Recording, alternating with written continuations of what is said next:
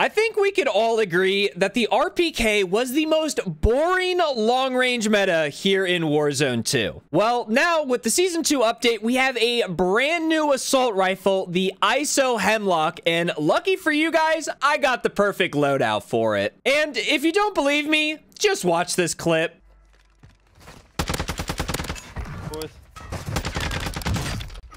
Ooh. want to know does Call of Duty alert people like who really suck at this game to tee off on one team? Because this guy has no fucking relation to these guys on the roof, and he completely ignores them and just shoots at me.